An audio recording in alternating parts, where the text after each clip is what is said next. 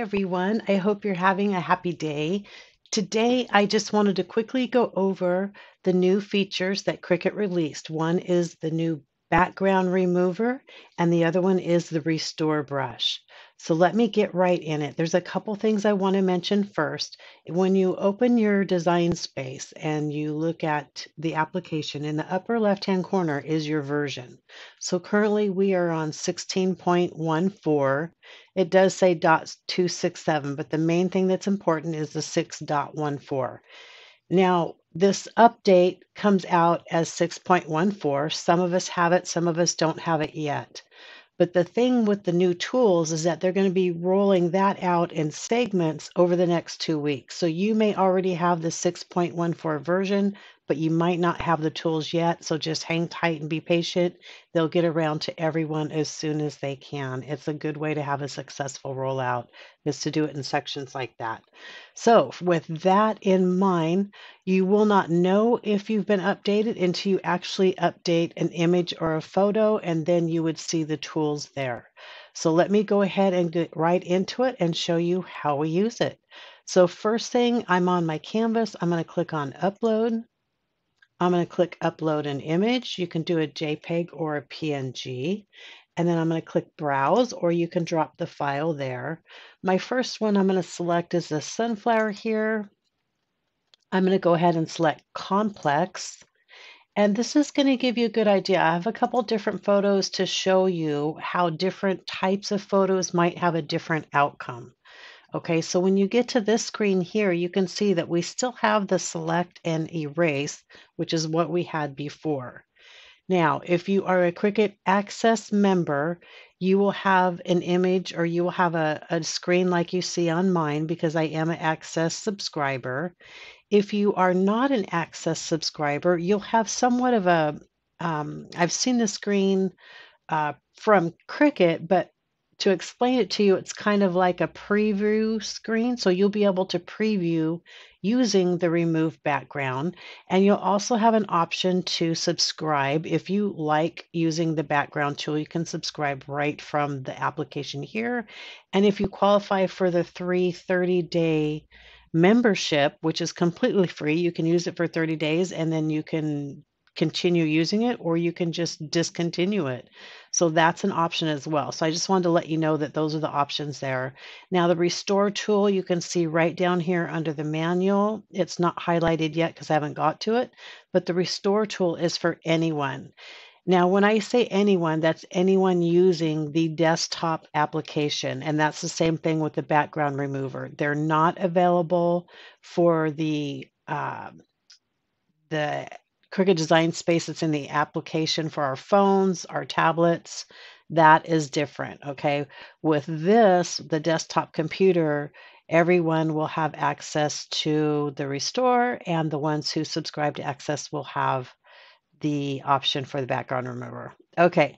So you remember before, if we were to select and then click on a background, right? We want to say, I say, I want to keep everything like the sunflower and these two leaves. Everything else I want gone. So uh, before we would just hit select and we'd have to keep hitting select and select and select. And you can see that you can't even really get it that close sometimes. And it's spotty and it was very time consuming. Okay. So let's go ahead and see what the back remove background tool will do.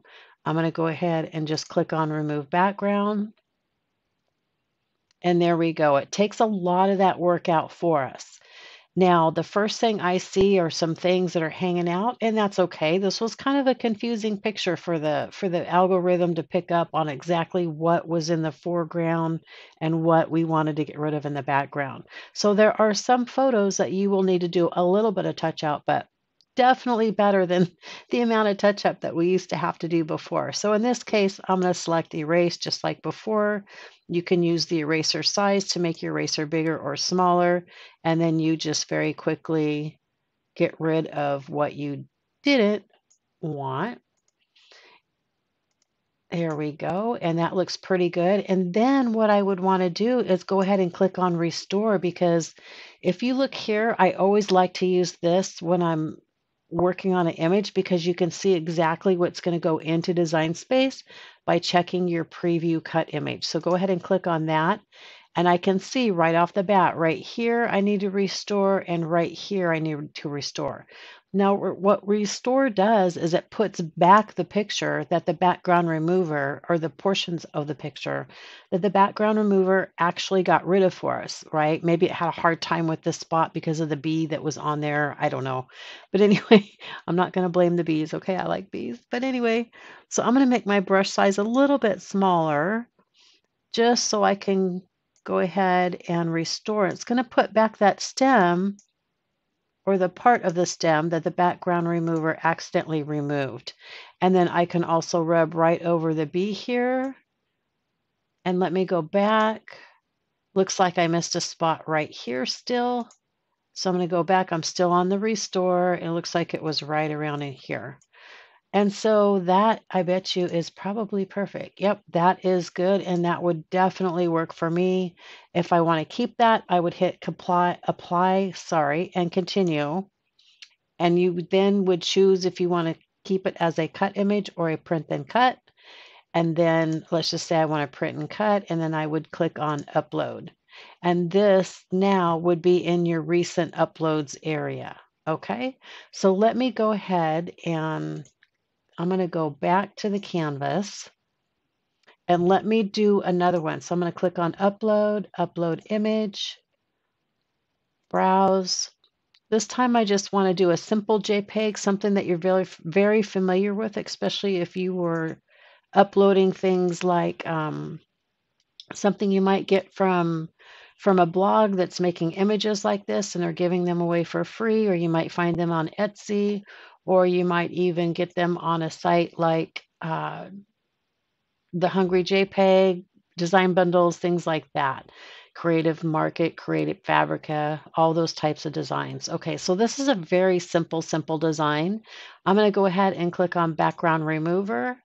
And you can see how easily this took care of this. It even took care of this little tiny part down here. Okay, so let me go ahead and I'm going to revert it back and let's just try the select and see what it would do.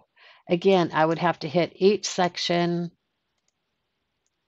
and I could try to get in here. Oh, looks like I was able to get it, but that you can see the difference between those two. If I click on preview, it's a perfect image. There's nothing that I need to restore. And then I would hit apply and continue, click print and cut or whichever one I was doing, and then upload, and I would be good to go. Okay, so I'm going to go back to my canvas. And now let's do another one. I wanted to show this one to give you kind of an idea of what you might want to do with an image. Oh, let's do the kitty cat first. Okay, so there's my kitty cat. Hit complex. I just want to show you isn't he a cutie? Okay, so then I'm going to take this, I'm going to hit background remover, and this is pretty good because you see all these fine lines in here. This is fur, and we know how difficult fur can be, and these are all kind of like-minded colors. They're all earth tones, and we'll see what it does with the background remover. And look at that. That is amazing. Let me hit preview absolutely nothing that we would need to do. Again, apply and continue, print and cut, upload. Okay, so let's do this again. Let's go to upload image, browse. This time I want to do granddaughter Maggie. So if we do this, she is in, I'm going to complex because if you look at this, there's a lot of, we've got fingers that are under the water, part of her foot's under the water. Okay, we want to get rid of this fence, right? I want to use it for like a scrapbooking page and show how you can make a really cute scrapbooking image or something for your journal. Okay, so for this one, again, what I'm going to do is I'm going to I'm going to remove the background. So it's only going to be Maggie and her floaty. And then we'll bring in a water image and put them together. And it'll be a whole perfect image to use for some type of a craft project or journal or scrapbooking. So I'm going to click on remove background.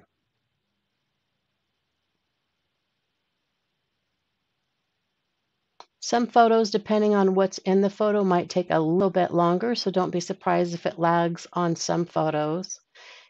And then also remember that on my blog, which you can link down in the description below, I will have some questions and answers and ideas of what you could use for this. So there's actually going to be more details on my blog if you want to read that. Okay, so this did a really good job. Let me go ahead and hit preview cut. Okay, so it looks like we need to do a little bit here, and I think I might want to do a little bit more to her fingers. Since we're going to be using a water background, I don't have to be so careful about the little bit of water that's like in between her fingers because it's going to be on a water background. So what I'm going to go ahead and do is in order to get the restore, you have to click erase. Just click anywhere on the canvas and then restore highlights. I don't know if that's going to change after the time, but that's how it's going right now. So again, with restore, you can change your price, right? You can change it all the way up big or with here, I want to do kind of small, maybe a little bit bigger. okay, so all I have to worry about is just getting right in between. Yeah, I do need it a little bit bigger. What it's going to do is restore what was actually there before. So it, all it does is restore the image prior to removing that background.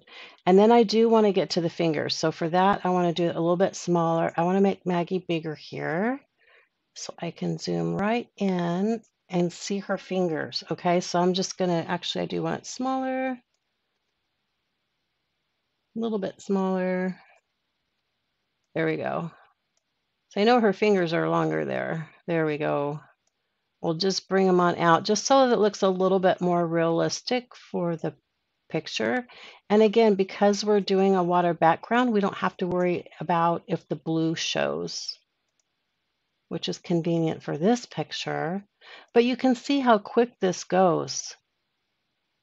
I am loving this restore tool and especially the background remover. It's such a time saver. Okay, that looks pretty good. That's the edge of her finger there. Maybe a little bit more there. Okay. That does look good. I'm not, again, I'm not worried about any little blue parts that are going to show because we're going to put her right on top of water anyway. So this looks good. Let me zoom back out. Make sure this looks good. Okay, that looks perfect. So let's go ahead and hit apply and continue. And I'm going to do print and cut. It's already named. I'm fine with that. Click upload.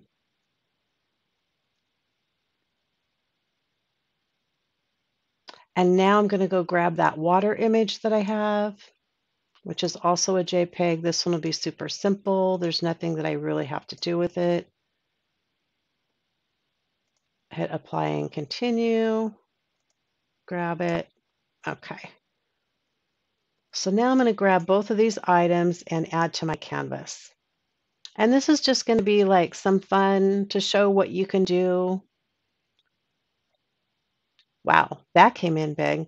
So when you see this exclamation mark and darling Maggie looking so big right here, the easiest way to get this down to size instead of scrolling and trying to find the size icon is just simply go up to your width and just change it to something like four and hit enter and it brings it back down to size. Okay, so now we have our water, which we do need to make bigger. So let's see, I want to make this about There we go. I like that.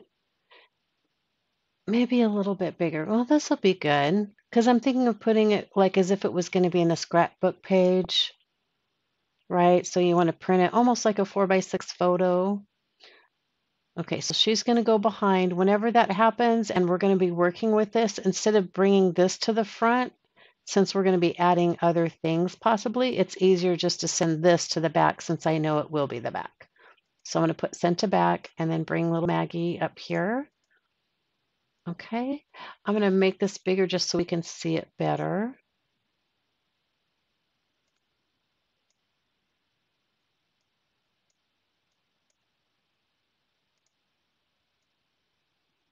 There we go. Okay, that actually looks so cute. And so let's just go ahead and bring in some fun text.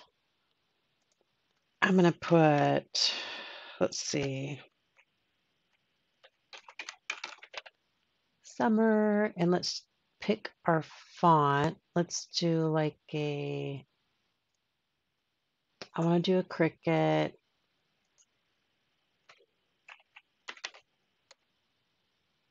I like this one. It's like a berry one. This one, I do love that one. Okay, it's the blueberry pancake one. It's a fun one. And then let me just make this a little bit smaller. This. And then let's also go ahead and add some more text. Let's do the year, right? Since it's going to be like something that we want to remember, make that a little bit smaller.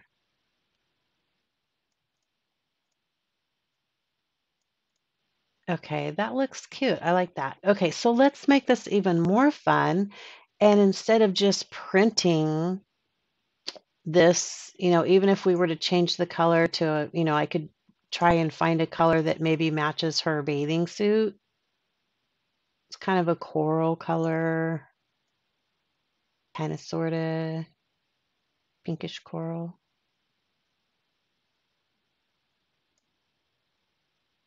Like that would be cute, right? But let's instead, since she's on a mermaid floaty, let me see if I have any patterns since it's going to be a print and cut anyway. I think it would be a really cute idea.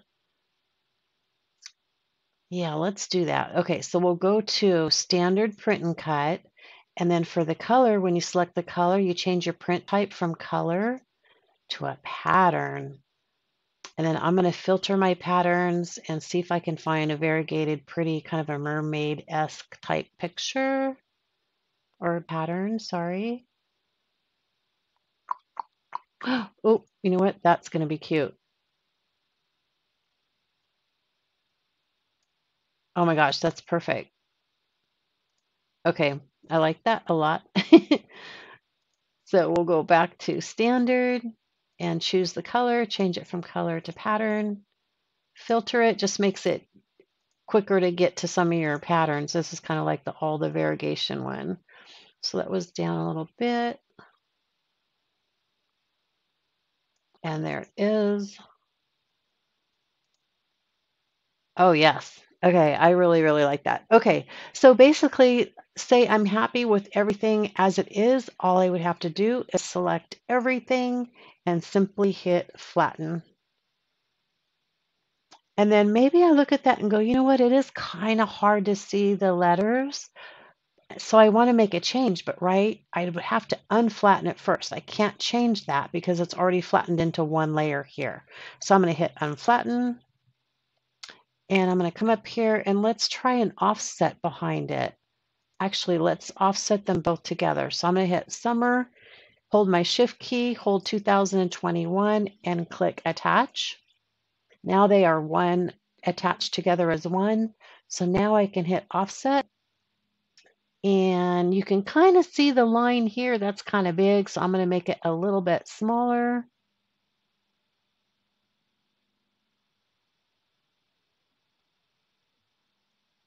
We just want enough to make that text stand out just a little bit better. So I want a rounded corner, that's good. I definitely want the offsets welded, so that's perfect. And I'm going to hit apply. All welds come in as black, so we're going to just click off of it and click the black and change it to a white. Oh, that looks so much better. It makes the word pop and it would be perfect for inside of a scrapbook. So now I can take my mouse and just select everything and hit flatten and we are good to go. There is our picture that we can use for our scrapbook or journaling, turn it into a greeting card. You could do all kinds of things. I just wanted to give you a quick example of how fun it is to take our photos, how to enhance them. This picture looks so much better than that fence that's in the background and everything else. And you can't even tell because it was put on water it doesn't even look like I removed it and put it back in. So I hope you enjoyed this tutorial. Let me know down below if you have any questions and I will be happy to answer them. And then again, on my blog, the link is in the description below. I go over some common question and answers there as well. And there's also a word tutorial if you prefer that style. All right, take care and remember to create with love. Bye.